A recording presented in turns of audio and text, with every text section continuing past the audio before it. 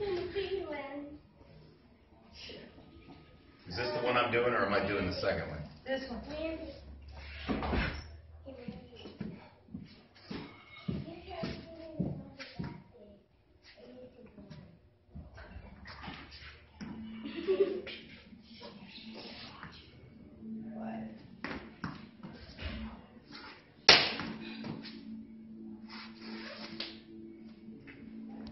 Short and sweet. Hu-Chuan-Kuen.